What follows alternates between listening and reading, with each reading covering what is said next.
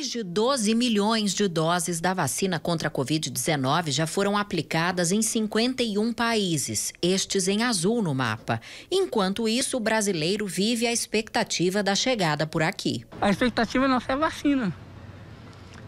Se for um, um, o nosso bem, não importa de onde ela vir. O importante é o resultado que ela vai dar para a gente, né? Que ela venha com a cura, que traga a normalidade porque a rotina que a gente está vivendo não é a normalidade, né? Tem tanta gente aí morrendo o tempo todo, então a expectativa é a melhor. A Anvisa aprovou o primeiro pedido de importação de 2 milhões de doses da vacina de Oxford, em parceria com a AstraZeneca. O pedido foi feito pela Fiocruz, mas ela ainda não tem autorização para uso emergencial no Brasil e nem o registro sanitário.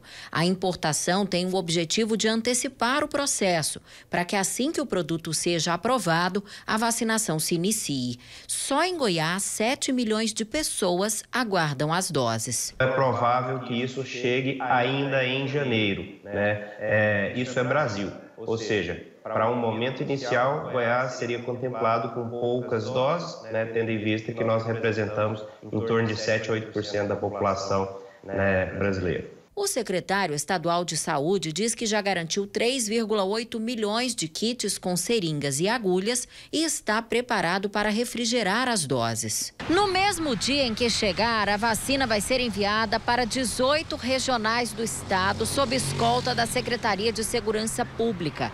Toda a logística de transporte, armazenamento e distribuição será feita pelo Estado.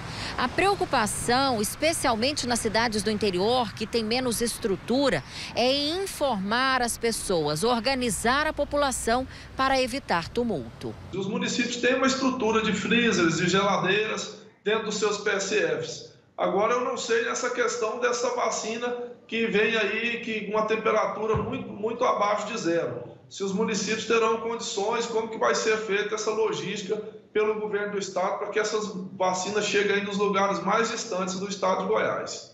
É preciso obedecer à ordem de distribuição. Primeiro, idosos com mais de 75 anos e profissionais da saúde, e também moradores de asilos. Na segunda etapa, entram aqueles com mais de 60 anos. Na terceira etapa, pessoas com comorbidades. E na quarta fase, professores, forças de segurança, salvamento, presos e funcionários do sistema prisional. Tudo feito por agendamento pelo aplicativo Dados do Bem.